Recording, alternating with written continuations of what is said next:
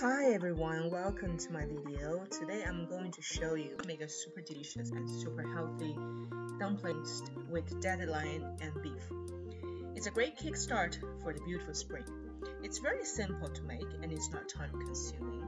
From root to flower, dandelions are a highly nutritious plant, loaded with vitamins, minerals, and fiber. Dandelion greens can be eaten cooked or raw and serve as an excellent source of the vitamin A, vitamin C, vitamin E and K. The only thing we need is flour, beef, dandelion greens, and a pinch of salt. Very simple. Let's get started.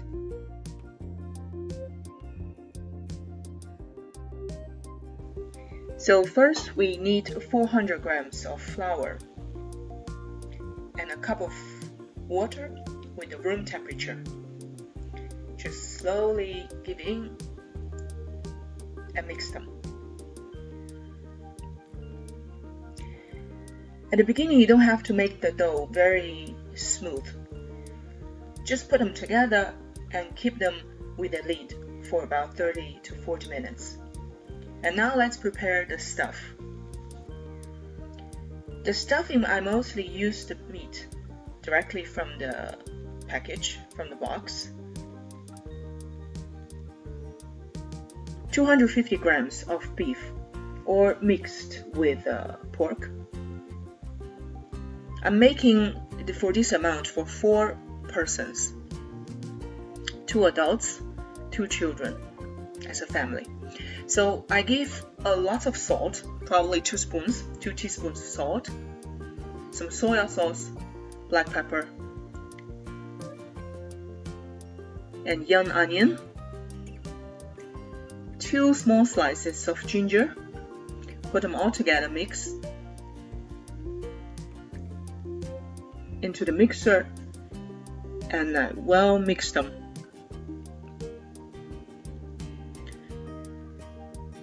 Then I add them together into the stuffing. So first we make the meat. We first have to make the meat. Uh, we have to put enough salt in the meat. As you can see, I'm mixing them very well. I'm adding water slowly. Just use your five fingers Mix them clockwise. Very well. Mix them and use more than half cup of water. And give a little more of salt because later on we don't need we don't add any salt in the vegetable because the salt will make the water coming out from the vegetable. So I'm keep mixing, keep mixing clockwise. Never go backward. Clockwise, clockwise. Mix them, mix them for about 10 to 15 minutes. I'm adding again water. So for 250 grams of meat, I need mostly the whole cup of water. I put them slowly in and mix them. Mix them very well.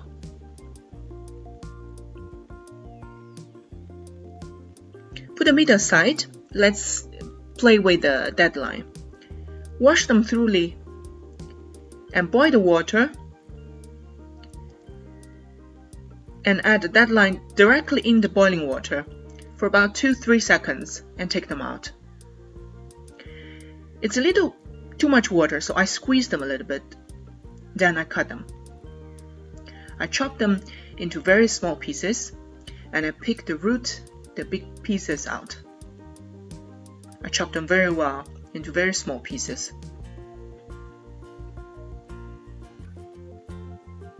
Then I add the meat stuffing into the vegetable.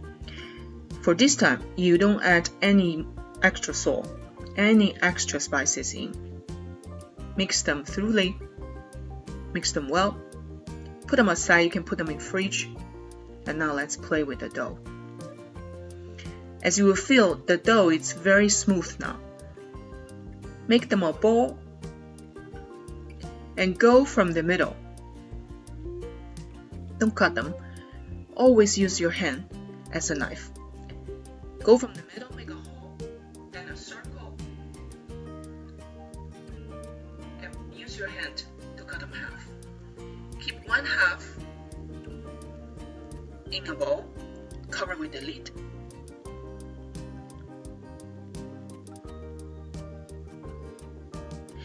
for the dumpling skins, I will show you two ways of making them. The first way is a little bit complicated. If you have time, you can play with them.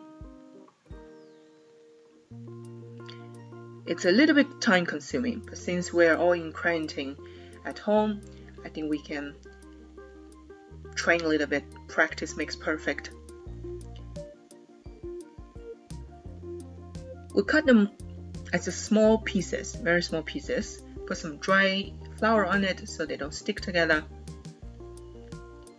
As you can see, I make them very round, facing up, then press down, make them small circles, small balls. Then I use this very special um, stick which I brought from China and I make the dumpling skins. Of course, I've been trained for a long time, so you don't have to make it so perfectly as I do, but you can train for sure.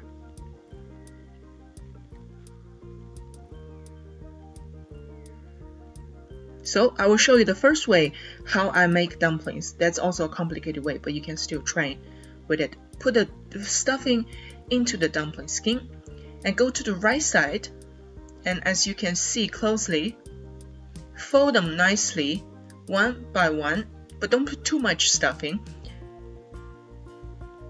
Right? That's one dumpling. Let's make another one.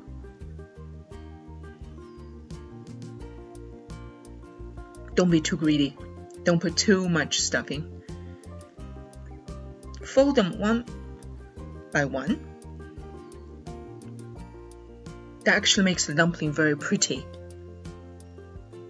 Okay, I will show you now the second way to make the dough. If you don't know how to use the stick, how to make them perfectly round, just take the second part of the dough, make them like a ball,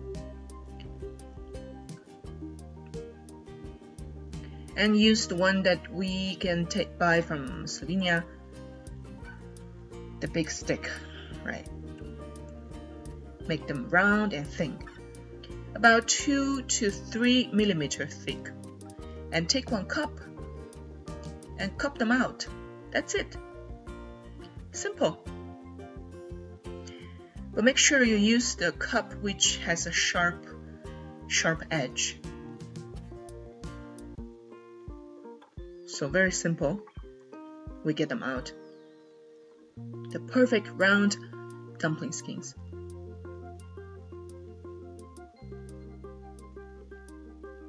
Okay, now I'll show you the second way to make the dumplings. Fold them from the middle and use your both hands, squeeze them together. That's it. You don't have to fold them. Now I'll show you the first one again. Put the stuffing in and fold them one by one. Trust me, this is not that hard as you see. Okay, now make the, the, the, your pan on the fire. Give a little bit of oil. I don't give a lot. I mostly use the extra virgin olive oil. Just a few drops of it.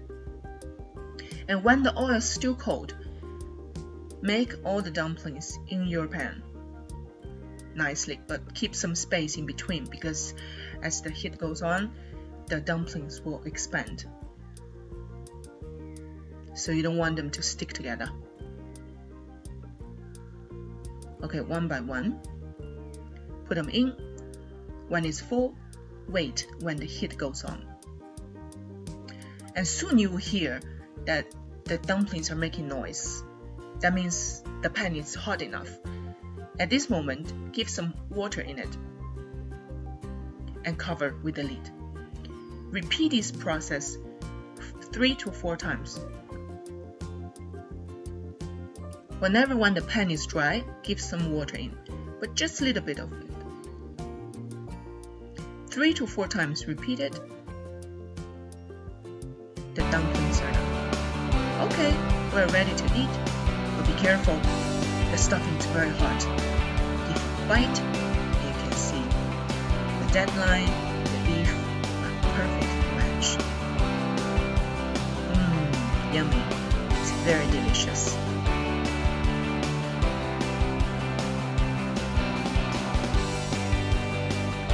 pa Tito, to pa Tate,